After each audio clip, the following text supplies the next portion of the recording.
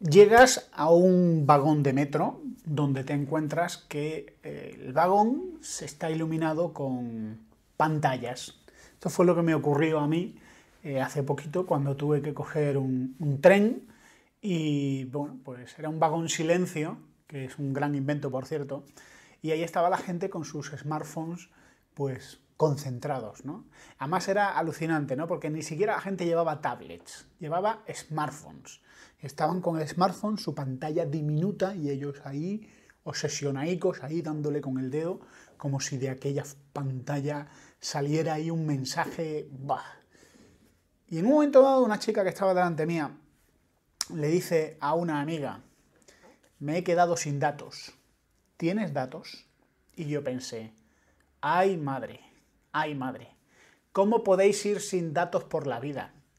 ¿A dónde vais sin datos? Pero, ¿para qué llevas, criatura, un iPhone 5S con una tarifa de datos ridícula? Y más con la pinta que tienes de estar todo el día pegada a la pantallita del móvil. Bueno, pues esta es la situación que vemos hoy en día.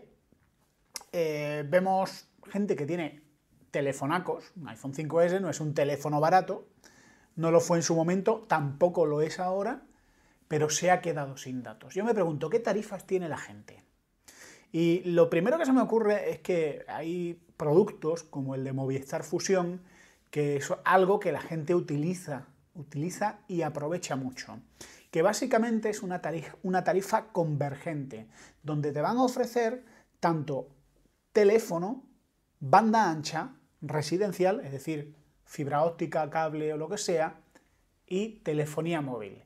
Cuando tú sumas estos tres productos, pues te sale un precio bastante apañaete, bastante razonable, y te suelen ofrecer eh, como línea móvil una línea que a lo mejor tiene minutos ilimitados, cosa que ya casi a, casi nadie les, nos interesa, y tiene entre 1 giga de datos y 1,5 gigas de datos.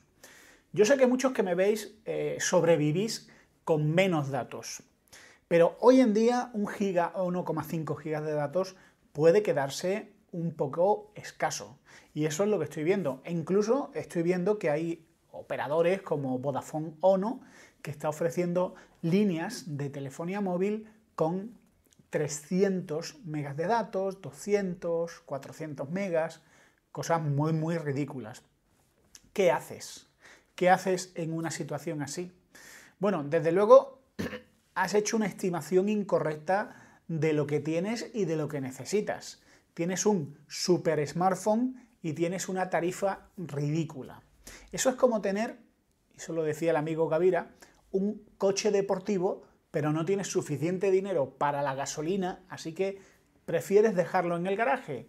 Tienes tu smartphone aquí guardadito en tu bolsillo, de vez en cuando miras la hora o a lo mejor, si te reduces la velocidad, que te baja la velocidad a 64K o a 16K, que hay operadores que hacen eso, pues miras algún WhatsApp, pero olvídate de fotos, olvídate de correos y olvídate de navegar y mucho menos de vídeos y de otras cosas, de Twitter y de mucho más.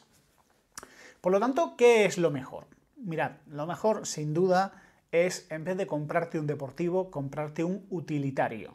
Un coche que te lleve a todos lados y que con el ahorro que te ha supuesto la adquisición de ese coche puedas comprar gasolina. O volviendo la metáfora a nuestro entorno geek, te compras un smartphone de 200 euros y con los 600 o 700 euros que te sobran tienes para algunos años de datos.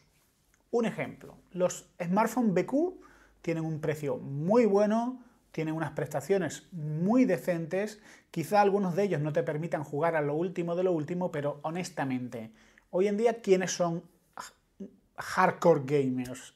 La mayoría de nosotros no, desde luego yo no lo soy. Y si acaso tenemos algún juego, tenemos algún juego casual, de estos juegos para la cola del banco o para momentos de intimidad ahí en el retrete, pero poco más. Un smartphone de 200 euros, 250 te va a permitir hacer todo eso. BQ es un fabricante español que está ofreciendo muy buenos smartphones y muy bien equilibrados de precio. Tenemos más, tenemos eh, móviles como el LG G2, que me parece un extraordinario móvil, con cámara, procesador, de todo, el OnePlus One, que hoy en día lo podéis conseguir en China por 250 euros y que tiene un Snapdragon 801, que tiene 3 GB de RAM, que es que ya estás hablando el, el OnePlus 1, está el OnePlus 2 ya, pero lo puedes sacar por un precio buenísimo. Que sí, que te tienes que ir a una tienda china, pero las hay muy buenas y funcionan muy bien. Funcionan incluso mejor que algunas tiendas españolas. Y luego tienes otros fabricantes, si quieres fabricantes solventes, el Motorola Moto G, que ya tiene un smartphone con 4G, creo que ya tiene un giga 2 gigas de RAM, y oye, si básicamente tu uso va a ser redes sociales, alguna fotito, algo de navegación y YouTube, vas, bueno, puedes hacer eso y mucho más. Y además tiene un precio muy razonable y es un fabricante pues, de los conocidos, de los famosos. Luego tienes pues, otros equipos, los Xiaomi y los Meizu, que son dentro de los fabricantes chinos, son los Sony de Asia o los Apple de Asia. Smartphone con buenas prestaciones, buenas calidades y precios muy contenidos. En el canal del Camionero Geek podéis ver y escuchar los comentarios que él ha hecho de los últimos modelos de Meizu que van fenomenal y los Xiaomi tampoco van nada mal, aunque según cuenta él mismo parece ser que la batería es algo que están dejando atrás. En lo que a mí respecta, yo he probado más los Xiaomi que los Meizu y con los Xiaomi he estado encantado, empezando por el Mi 2, el Mi 2S creo que era, el Redmi Note, que también es un teléfono extraordinario y muy contenido de precio, y bueno, gástate un poquito más de dinero. En cuanto a tarifas, ¿qué tarifas hay que tengan buenos datos?